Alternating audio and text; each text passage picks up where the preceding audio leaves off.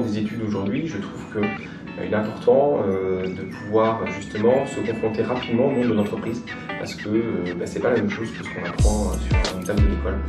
Et voilà, donc l'alternance pour moi est intéressante dans ce cadre-là parce que ça permet, bah, comme tout monde a dit, d'alterner l'entreprise et l'école, l'entreprise l'école.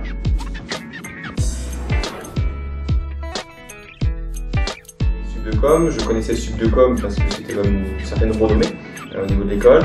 Euh, le programme était euh, intéressant dans les grandes lignes que j'ai pu en, découvrir parce que j'ai vu effectivement ce programme-là.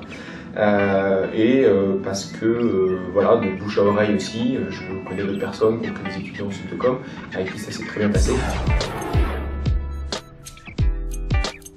Il faut se mettre aussi dans le contexte professionnel, du fait qu'on va être dans une société, qu'on va appartenir aussi à une société, à une équipe, avec des collaborateurs, à des contraintes qui sont autres que les contraintes d'école, voilà, qui ne sont plus que des contraintes personnelles, je dirais, côté école, parce que je viens, je viens pas alors, je peux gêner mon groupe de travail et que je suis dans l'école, mais je viens pas à l'entreprise, c'est plus la même chose. Voilà.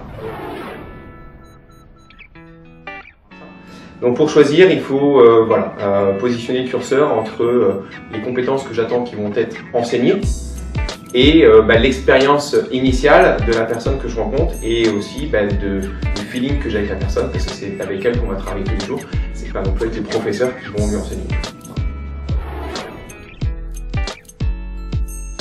Euh, moi, la problématique que j'ai rencontrée sur cette alternance a été euh, la gestion de l'alternance. Voilà.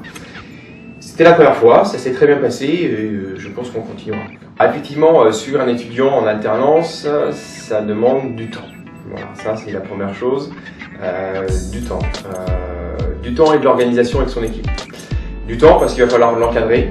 Ça reste un élève, ça reste une personne qui est dans une phase d'apprentissage et qui vient en entreprise pour continuer à apprendre, pour valider ses acquis théoriques et euh, les mettre en pratique, donc valider tout ça. Euh, donc un encadrement, un suivi, euh, tout ce qui est plus classique finalement avec n'importe quel autre salarié.